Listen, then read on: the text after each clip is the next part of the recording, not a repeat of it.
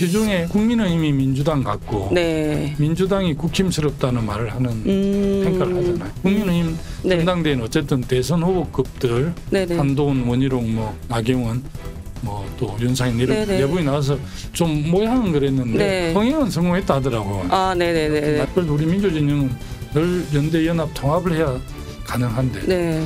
저는 이재명 대표의 2년간 리더십을 보면서 네. 연대 연합 통합 연합 정치에 대한 이해도가 많이 부족한지 아. 잘안 하시더라고요.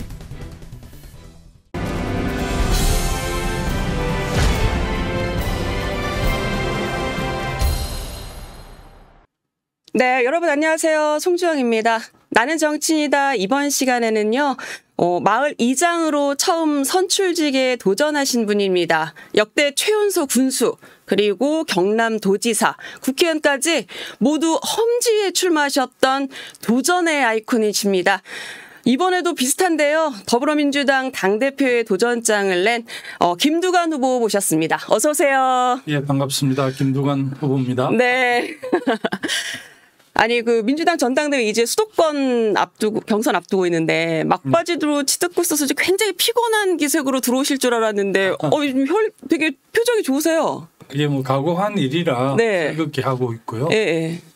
뭐 출마할 때 이제 어대명 네. 뭐 이렇게 학대명 이런 분위기가 있었잖아요. 네. 그럼에도 불구하고 단 1%라도 다른 목소리가 있다면 네. 그걸 대변한 책무가 있다 이런 생각으로 네. 제가 참여를 했기 때문에 예. 예. 큰 일에는 또 계산하지 않는 법이잖아요. 음. 승패에 연연, 연연하지 않고 네. 참여를 해서 처음에 너무 이렇게 지지율이 너무 낮게 나와서 네. 네. 저도 좀 염려도 하고 주변 분들이 걱정을 했는데 그래도 뭐 우리 민주당의 심장이라는 호남, 예. 전북, 강주 또 전남을 거치면서 그래 두 자리 숫자 지지도 나오고 네. 전국에서 이제 당의 미래와 관련해서 많은 분들이 염려와 걱정을 해주시고 또 저희 용기에 대해서 격려를 해주셔서 네네. 뭐 즐거운 마음으로 하고 있습니다. 어, 아니 그러니까 그 사실은 아까 말씀하신 대로 이제 어대명 어차피 대표는 이제 이재명 뭐 이래가지고 예. 다른 분들은 이제 참여 도전장을 안 내시는데 내셨어요. 사실은 제가 이제 지난번 22대 총선에서 네, 낙동강 벨트 양산을에 출마를 했잖아요. 그렇죠. 어, 김태호 저 전임 저 제보다 전임 경남지사 네. 제가 이제 후임 경남지사인데 전직 경남지사 대결을 해서 굉장히 관심이 많았어요. 맞아요. 지난 총선에서 이제 개항을은 뭐 이재명 당 대표하고 원희룡 장관하고 붙으니까 굉장히 관심을 네. 갖고 기본적으로 이제 한강벨트하고 낙동강벨트 네. 있는데 낙동강벨트에 10개 지역구가 있거든요. 그 중에서 제 지역구인 양산을이 가장 핫한 곳이 됐고 그렇죠.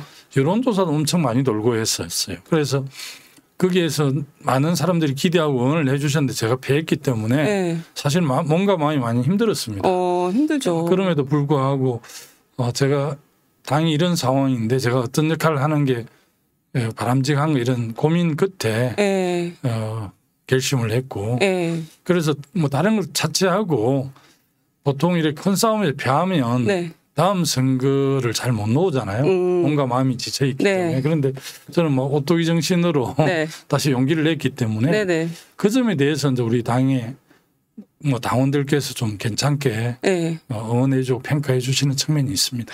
아니 그렇죠. 그 생각했어요. 아니 그러니까 후보님의 강점이 이제 7전 8기 도전 정신이에요. 일곱 번 넘어져도 여덟 번 일어나서 또 도전을 한다. 네. 근데 사실은 그 남해 군수 때도 그 지역이 뭐 그 당시 박희태 국회의원이면 뭐 말씀 좀 해주세요. 예, 뭐 민자당 어 민정당 그러니까 제가 1995년 재연소 군수될 때는 네, 민자당 후보가 아주 경력이 있는 대 선배님이 나오셨어요. 네, 밀양시장하고 통영시장도 하고 경상남도 내무국장도 하신 분이고 저는 마을 이장 네. 그리고 남해신문 발행인 정도밖에 경력이 없었는데 네, 이열이 마을 의장, 예. 이장. 그랬는데 남해 국민들이 저를 선택해 주셨어요. 참 지금도 참그 해석이 잘 안 되기는 해요. 네, 아무 경력도 없고 그 정말 청절문 청년을 그래도 지방 정부의 수장으로 선택해 주신 그 국민들의 뜻을 네. 뭐 지금도 잘 헤아리기 힘든데 어쨌든 음, 그렇게 선택해 주셨기 때문에 제가 이제 두 번을 하면서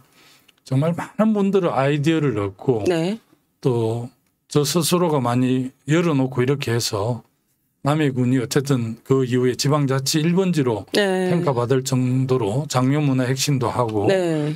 강부 간호사들이 돌아와서 사는 독일 마을도 만들고 그쵸. 독일인 마을. 예, 예. 10만 평의 야구장 축구장을 만들어서 스포츠 전지 훈련장 네. 특히 겨울에 예. 그리고 2002년에는 월드컵 덴마크 팀이 와서 전지 훈련을 하고 어. 2008년 베이징 올림픽에서는 쿠바 야구단하고 예. 예. 나이지리아 축구팀이 와서 전지 훈련장을 썼는데 다 어. 북경 올림픽에서 다 은메달을 했습니다. 어, 그래요? 예. 어. 그래서 저 스포츠 마케팅을 통한 지역 경제 활성화를 활성화 모델을 만들었는데 네. 제가 남해군 지방 자치를 할 때 굉장히 이제 언론에서도 주목을 해서 많이 네. 보도를 해주셨어요. 그래서 중앙에 있던 해양수산부 장관에 있던 노무현 최고위원이 네. 저를 굉장히 눈여겨 받는 모양이더라고요. 음. 제 약점 못, 못 보고 장점 보고 어, 참여정부에 네. 또 그것도 최연소 장관으로 발탁을 했죠. 그래서 행, 행자부 장관으로 예. 발탁을 그리고 나서 이제 경남도지사 출마하실 때도 예. 사실은 경남은 여당 지금 이제 당시 한나라당이었나요? 텃밭이 예, 한나라당 텃밭인데. 제가 2002년에 17% 얻었고 예. 2006년은 이제 노무현 정부 중간이었는데 예, 예. 제가 장관 그만두고 예. 여당 후보였는데 한 25%를 받았고 예. 2010년에 세 번째 도전해서 비로소 네. 처음으로 영남에서 예. 이제 민주진영이 승리를 했는데 그때는 53.5%를 받았어요. 음. 그래서 굉장히 주목을 받았고 네. 또 나름대로 뭐 도정도 보호자 없는 병원 하고 예. 또 모자이크 프로젝트를 해서 이제 골고루 균형 발전 지원하고 이렇게 괜찮게 했었는데 네. 중도에 제가 아. 대전, 대전 참여하면서 그쵸. 중도에 도지사를 사퇴해서 예.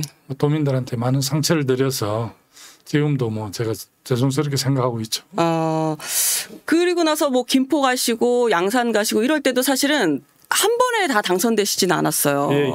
그러니까 어쨌든 어딘가를 출마를 하면 한 번에 당선되는 쉬운 지역은 없어서 네.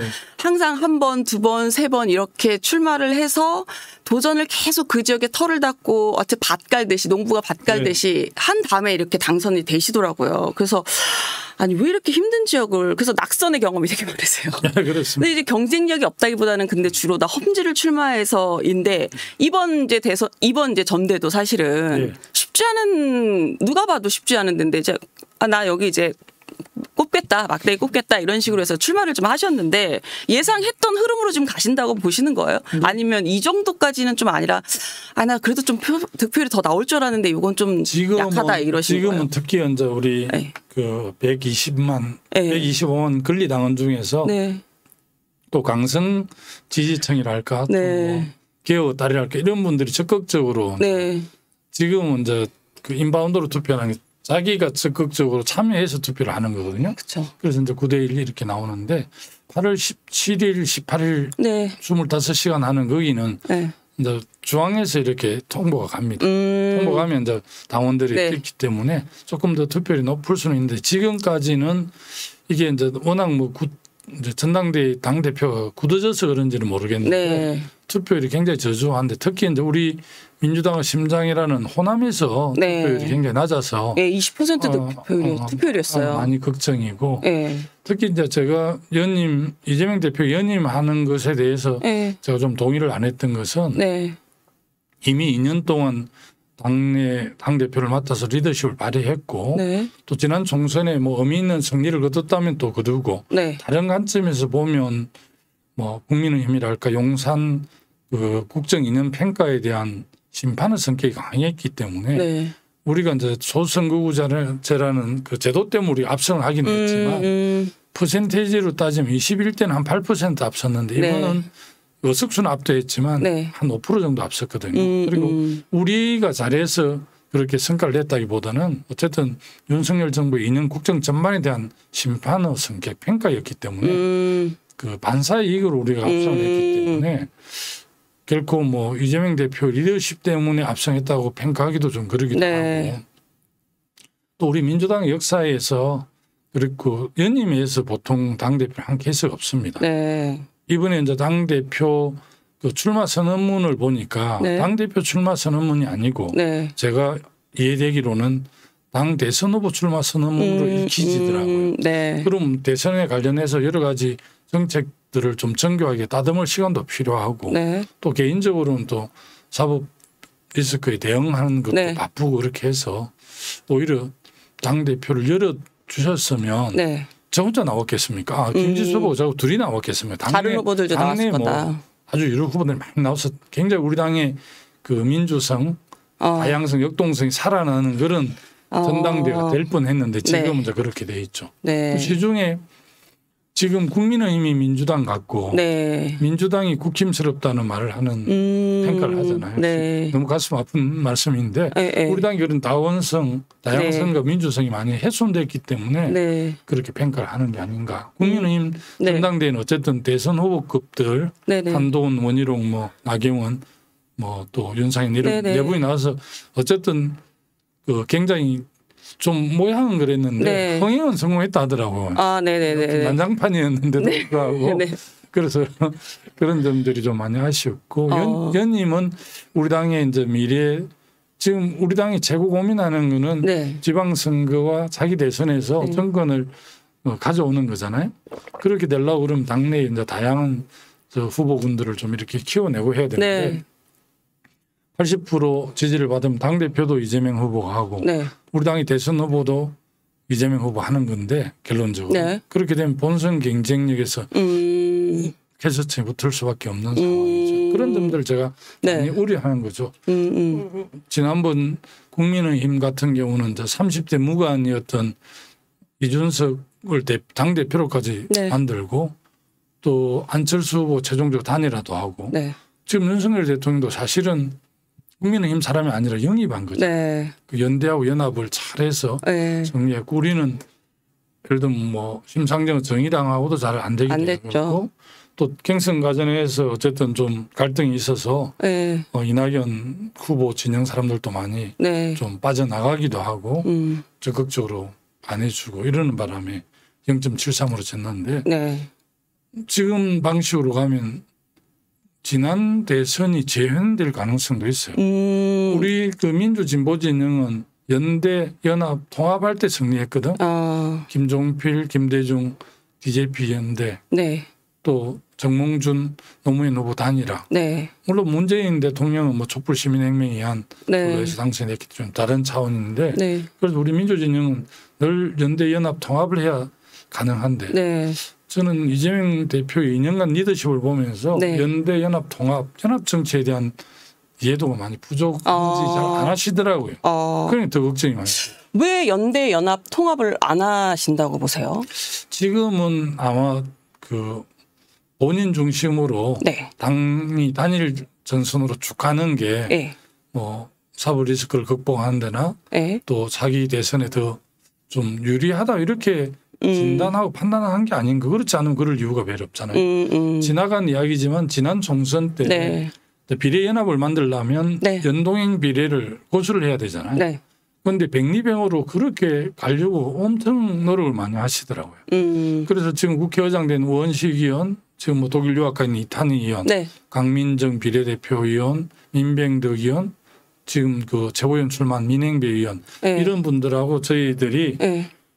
비례연합을 하고 연합 정치를 해야 우리가 승리할 수 있다. 음. 강력하게 주장을 했어요. 네. 그래서 뭐 성명도 발표하고 기자회견도 하고 최종적으로 한 100명 가까운 국회의원들 연대 서명도 받고 이렇게 네. 해서 이제 이재명 물- 후보 물론 이제 좀 백리평을 주장하다가 네. 연동형 쪽으로 돌았었거든요. 음, 네. 그래서 그렇죠. 이제 지역은 민주당 비례는 뭐 조국 혁신당 네. 지민 비조 네. 또 그래서 이제 시민사회도 네석 정도 할애하고 네. 비례연합에 진보당 세석을 하려고 해서 비례연합 연합 정치를 해서 우리 당 우리 당만으로 175석 네. 범야권은 192석 승리를 했잖아요. 네. 그것도 연합 정치의 산물이라고 저는 봅니다. 음. 만약에 그때 백리병을 했으면 네. 뭐 조국 혁신당도 후보 내고 음. 진보당도 후보 냈으면 수도권에서 것이다. 천표 20, 2천표로 이긴 분들은 몽땅 떨어질 가능성이 높죠. 아. 그래서 네. 지난 총선의 경험도 그렇고 네. 또 우리 역사도 그렇고 그래서 저는 네. 자기도 연합 정치를 통해서 네, 네. 정리할 수 있다. 그래서 음. 제가 최근 뭐 어제 MBC 뉴스회전이라는 프로에 나가서 네. 뭐 기자가 묻길래 그런 이야기를 했어요. 나간 뭐 홍영표 전 원내대표나 네. 이현욱 의원이나 조홍춘 의원 이런 사람도 우리가 폭넓게 받을 수 있고 네, 그 말씀 하시더라고요. 세미리에 대표된 전병헌 전그 정무수석이 네. 최민희 대표가 됐거든요. 네. 이낙연 맞아요. 정리하는 그 새로- 당에 네. 그래서 뭐 최근에 이제 김대중 사저 논란 예. 있을 때 적극적으로 어 의견도. 내시고 했는데 저는 뭐 당장 2년 뒤 지방선거는 독자적으로 설사 한다 하더라도 네. 대선은 새누리를 비롯한 모든 세력을 네. 야권 민주개혁 진영을 네. 이제 그러면 크게 짜야 승리할 수 있다고 이야기하고 있고 네. 합동 뉴스에도 이제 그런 후보들을 제가 좀 거론을 해요. 네. 김부겸 총, 전 총리, 네. 김동연 경기지사, 네. 지금 복권돼야 될 뭐 김경수 전 경남지사, 네. 이탄희, 박용진, 네. 뭐 이인영 등등 이런 이야기를 쭉 하면 네. 그 합동 뉴스장에서 굉장히 야유를 하세요. 그러니까요. 제가 그런 내가 당대표부터 뭐 스크럼 크게 짜서 본선 경쟁을 높여서 네. 어, 우리가 대선에서 정권 교체하겠다 이렇게 하면 박수는 뭐 칠망정 그냥 마음에 안 들면 그냥 침묵을 지키는 게 상식인데 네. 뭐 이재명 후보로 가면 되지 무슨 네. 다른 후보를 거론하느냐면서 막 야유를 퍼붓는 걸 보면서 네. 우리 당이 왜 이렇게 됐지 그런 생각을 내가 하게 됩니다. 음, 아니 근데 왜 당이 그러면 이렇게까지 변했다고 보세요? 뭐 윤석열 정부 검찰 독재 정권이 먼저 야당 인사를 탄압 이제 그게 대선에서 패한 상대 후보를 네. 검찰권을 동원해서 이렇게 집요하게 그 괴롭히는 경우는 거의 없잖아요. 이건 음. 민주주의 상식에 어긋나는. 음, 그 그렇게 하기 때문에 당원들이 이제 부당한 그 탄압을 받고 있는 이재명 대표를 엄호해 줘야 되는 이런 게 음, 음, 음. 일치 단계라서 이렇게 사수를 내야 침탈을 막을 수 있다 이런 생각들을 강하게 한 게 그렇게 된 게 아닌가. 일단 살기 위한 불가피한 워낙 저쪽이 세게 공세를 네. 하니까 그런 측면도 좀 있다. 있- 있는 것 같고요. 네. 또 이재명 대표 본인도 네. 이렇게 좀 열어놓고 가는 것보다는 아무래도 이제 자기 저 정파 중심으로 네. 같아요. 인사 이런 것도 보니까. 어. 그러- 그래서 이제 네. 저 하나 더 추가로 말씀드리면 더민주 핵심회의라고 네. 당내 최대 개파가 된 것 같아요. 네. 지난 총선 과정에서 이제 그쪽 분들이 공천을 꽤 많이 받아서 개혁 공천 가지고 하나회 연상된다고 예. 비판하셔가지고 또 그걸로도 또 예. 약간 그래서 그 더민주 핵심회의가 한 20명 정도. 당선이 되고 네. 지금 최대 개파가 되니까 이제 하- 당선될 때는 더민주 핵심회의 소속이 아니었는데 추가로 가입한 의원들이 꽤 많은 것 같아요. 네. 서너 명 음, 남짓 전후로 되는 것 같고 네. 내가 뭐 카운트를 해볼 수 없지만 음. 그런 것 같고 또 원외 조직은 더 많아진 것 같아요. 네네. 그래서 사실은 영남의 5개 시도당 위원장 다 더민주 핵심회의 소속이 됐고요. 네. 광주에 이제 그 광주 빼고는 광주시당 아직까지는 네. 위원장 이제 양부남 의원이 그 현역 의원이 됐고 현역 의원이 되고 강위원 후보가 떨어지긴 떨어졌죠. 했는데 그래서 제가 그런 주장하니까 광주에서도 우리 강위원 씨가 떨어졌다라고 그렇게 이제 소명을 하던데 그건 뭐 특수한 케이스고 음. 대체적으로 지금 경기도도 뭐 네. 치열하게 지금 공방을 하고 있는데 당권파가 또 그 개파를 만드는 케이스는 없어요. 음. 이미 지금 이재명 당 지금 대표 후보 네. 앞에 전임 대표 뭐 차기 당 대표 유력한 사람인데 네. 당근파가 당근파 안에 또 그 개파를 만든다는 게 역사에 없거든. 음. 더민주 핵심회의를 만들었고 네. 이분들이 이제 뭐 여러 가지 관여하는 부분에 대해서 내가 비유로 어 80년 신군부 하나에 같이 했다. 연상이 된다 이야기했더만 또뭐 사과라고 난린데요. 네. 사과할 일은 아니고 사갈 일은 아니고. 뭐 하나의 방점을 둔 건 아니고 더민주 핵심회의가 네. 그 당내 최대 개파가 되면서 네. 당내 민주주의를 좀 훼손한다 이런 측면에서 비판한 거예요. 음, 아니, 그 얘기 그렇지 않아도 관련해서 그 저희, 음, 이 지하 세계 이 나는 정치이다에서 이철희 전 청와대 정무수석이 네. 말씀하시기로는 김두관 후보께서 말씀하시는 그, 그 하나회라는 발언 음. 자체 그 표현을 얘기할 것이 아니라 음. 민주당 속사정을 아는 사람들은 그 내용적 측면에 대해서는 동의할 것이다 라고 말씀을 하시더라고요. 어, 수석 이렇게 네, 이야기합니다. 그렇게 말씀을 하시더라고요. 예. 그래서 수긍할 것이고 내용적 측면에서는 틀린 것이 없다 라고 말씀을 하시더라고요. 정동영 의원님도 네, 어, 얼마 전에 무슨 SBS 네, 나와서 그렇게 이야기하되 그 전반적인 그런 비판은 그를 김두관 후보가 할 수 있는데 네. 비유 자체를 하나에 한 거는 좀 적절한 비유가 아니었다. 네. 어, 그런 점을 지적하시죠. 그러면 이게 이제 내용적인 부분에 있어서 동의하시는 분들이 그래도 있는데 음. 이제 표현이 과, 이제 과거 이제 군사 정권 시절에 음. 어떤 조직에 대해서 좀 비판을 해서 이게 약간 조금 이제 도가 넘었다. 이제 요게 좀 이제 이제 비판의 요 틀이 이제 좀 넘어가는 건데 이건 차치하고 이 내용적 측면에서 동의하시는 분들이 꽤 있다면 왜 당내에서 그런 목소리를 내는 분들이 표면화되지 않는 걸까요? 뭐 지금 제가 이제 당 대표 후보 전국 순회 경선을 하고 있잖아요. 네. 그래서 제가 뭐 다 인연이 있거나 네. 또 연결이 되는 분들한테 도와달라고 네. 하면 네. 드러내놓고 놓기가 어렵다라고 이야기를 하면서 네. 이제 자기 이제 지방선거에서 뭐 단체장, 기초든 강력이든 네. 네. 또 기초의회든 강력의회든 나갈 사람들은 네. 당내 그 더민주 혁신의 소속 기업을 따르고 자체는 개딸들이 워낙 네. 세게 발언도 하고 하기 때문에 네. 그 사람도 눈치를 보서 네. 뭐 돕고 싶지만 내놓고 못 돕겠다 이럴 정도니까 음. 제가 그런 점을 지적한 거죠. 음. 당내 민주주의를 어, 심히 훼손하는 한다 저는 그렇게 보고 있기 때문에 네. 비판한 겁니다.